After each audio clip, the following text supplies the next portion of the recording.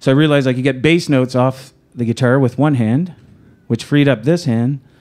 Therefore, I built the box, sat on it, wrote this tune. I couldn't bring my box, I forgot it in Toronto. So someone was kind enough to bring me this one.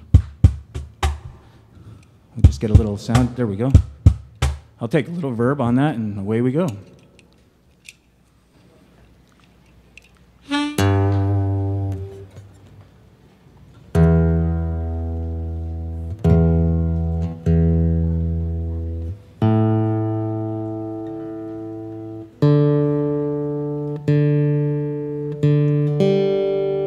Here we go. It's called On the Beaten Path.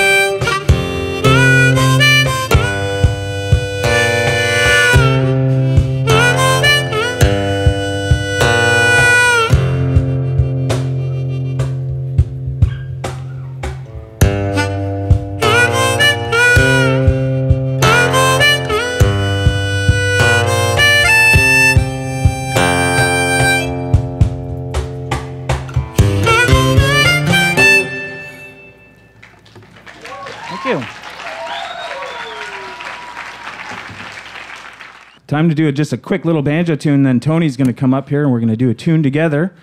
Tony Cox from South Africa, and then he's going to finish off the set.